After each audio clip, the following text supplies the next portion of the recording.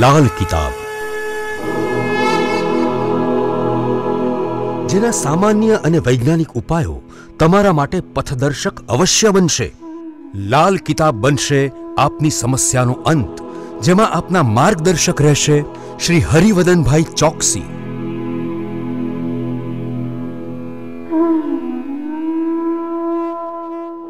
નમસ્કાર મિત્રો, હું હરિવર્ધન ચોકસી આપ સૌનું સ્વાગત કરું મિત્રો, આજના વિડીયોમાં આપનું ખૂબ ખૂબ સ્વાગત. મિત્રો, દર શનિવારે આપણે એક બોધકથા જોઈએ છે. તો આજની બોધકથા માનવ માટે બહુ મહત્ત્વની છે. માણસે જીવનમાં સુખી થવું છે કે દુઃખી થવું છે? બહુ મોટો પ્રશ્ન છે ને? પણ એને કેવી રીતે, કોણ સમજાવે? માણસે પોતે વિચારવાનું કે પોતે સુખી છે, દુઃખી છે ને સુખી છે તો એને કઈ રીતે જીવન જીવવું, દુઃખી છે તો દુઃખમાં કઈ રીતે જીવન જીવવું? અને આપણે સમજતા જ નથી.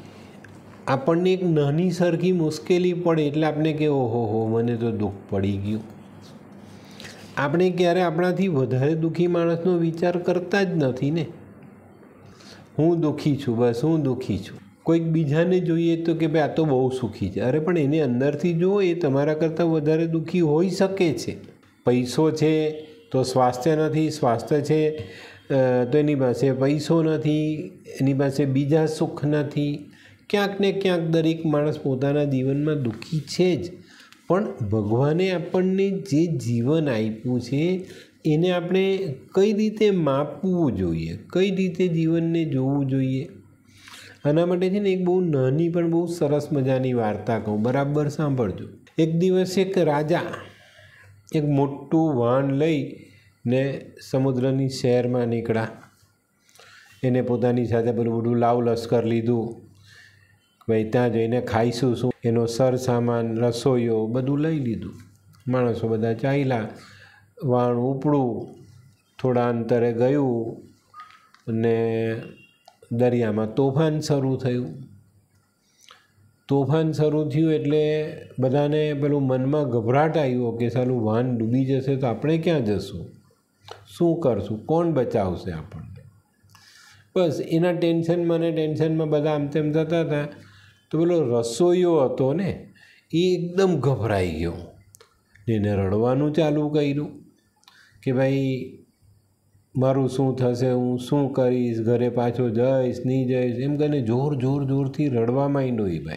વાન ધીમે ધીમે સમુદ્રમાં આગળ વધી રહેલું હતું. સામે ટાપુઓ દેખાતા હતા, એ તરફ વાન આગળ વધતું હતું. અને આ બધી ગળમથલમાં પેલા રસોઈયાનો, રડવાનો અવાજ રાજાના કાન પર પડ્યો. હવે એનો રડવાનો અવાજ ધીરે ધીરે વધતો હતો ને એ રડવાના અવાજથી રાજા ડિસ્ટર્બ થઈ ગયા. એકદમ આમ બેબાકડા થઈ ગયા કે આનું શું કરવું એમ? એટલે રાજાએ પેલા પ્રધાનને કીધું કે ભાઈ આને ઉઠાવ ને નાખી દે દરિયામાં એમ કે. એનો રડવાનો અવાજ બંધ થઈ જાય. ક્યારનો આ માણસ રડી રડીને બધાને પરેશાન કરે છે? બીજાનો ડર વધારે છે. પ્રધાને વિચાર્યું ને પછી રાજાને કીધું કે તમે શાંત થઈ જાઓ, એને હું સીધો કરું છું.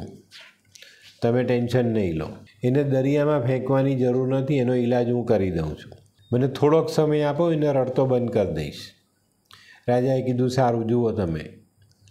તો પ્રધાને પેલાને ઉઠાડ્યો બે ચાર માણસની મદદ લઈને એને બાંધી દીધો. બાંધીને વાનની બહાર ટીંગાડી દીધો એને. અને આ હાલત જોઈને રસોઈયો એકદમ ગભરાઈ ગયો કે હવે તો હું ગયો. અને આ લટકેલી હાલતમાં તોફાનનો સામનો કરવો એના માટે મુશ્કેલ થઈ ગયો. થોડીવાર એને પ્રધાને એમ જ લટકવા દીધો. થોડીવાર પછી પ્રધાને એને અંદર લઈ લીધો પાછો વાણમાં અને જેવો એને વાણમાં લેવામાં આવ્યો, એવી રીતના પ્રધાને હુકમ કર્યો કે ભાઈ આને છોડી દો એમ કે.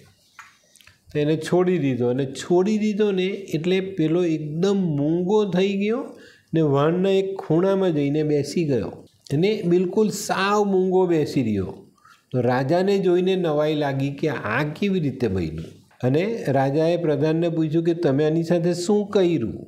કે આ ચૂપ થઈ ગયો? તો પ્રધાને કીધું કે મહારાજ, માણસ ત્યાં સુધી બરાડા પાડે છે, ફરિયાદો કરે છે. જ્યાં સુધી એ એક પરિસ્થિતિમાં જીવી રહ્યો છે. અને એને જે તોફાનની બીક હતી એ પરિસ્થિતિમાં જે હતો. એના કરતાં ખરાબ પરિસ્થિતિ મેં એને બતાવી. તોફાન તો ખરું જ, પણ એને ઊંધો ટીંગાડી દીધો. એટલે એને વધારે બીકનો એ આવ્યો. ને ત્યાં પણ એ લટકતો રહ્યો. એને તોફાનની સાથે સાથે જે વધારે પડતા તોફાનનો સામનો કરવો પડ્યો. એટલે એને ખ્યાલ આવી ગયો.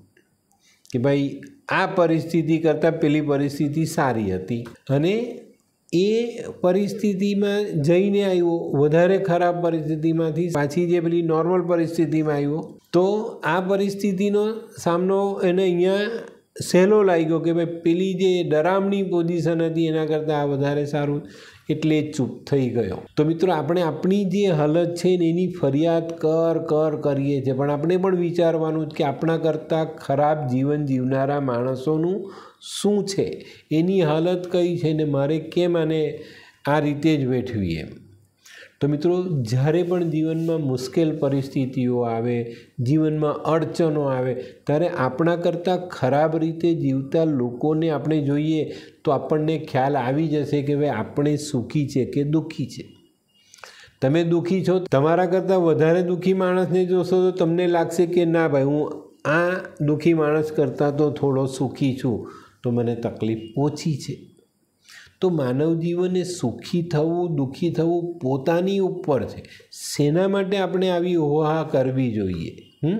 તો મિત્રો આપણા ગુજરાતના સાહિત્યમાં જે કવિ થયા, મનોજ ખંડેરિયા, એમને બે લાઈન બહુ સરસ લીખી. દુઃખ ભૂલી જા, દિવાલ ભૂલી જા, થઈ જશે તું ન્યાલ ભૂલી જા, દુઃખને ભૂલી જાઓ. બરાબર? તમારી અડચણોને ભૂલી જાઓ. તમે ન્યાલ થઈ જશો. પણ જો આપણે દુઃખનું, રોદણું, રડી રડીને બેસી રહીશું ને તો દુઃખી જ રહીશું. આપણા કરતાં વધારે દુઃખીને જોઈશું તો આપણે આપણા સુખનો ખ્યાલ આવશે? તો આપણને ખ્યાલ આવશે કે ના ભાઈ, હું મારું જીવન તો સારું અને સુખી જ જીવું છું. તો મિત્રો, આવા વિચાર કેમ નથી કરતા આપણે? માનવે આ વિચાર પહેલાં કરવો જોઈએ. તો મિત્રો, આજનો વીડિયો ગમ્યો તો લાઇક કરો શેર કરો યુટ્યુબ જોનારા શેર કરે અને સબસ્ક્રાઈબ કરે. હું હરિવર્ધન ચોકસી આપ સૌની રજા લઉં. ફરી મળીએ નવા વિડીયોમાં નવી જાણકારી સાથે. તો ચાલો, બદલીએ જિંદગી. નમસ્તે.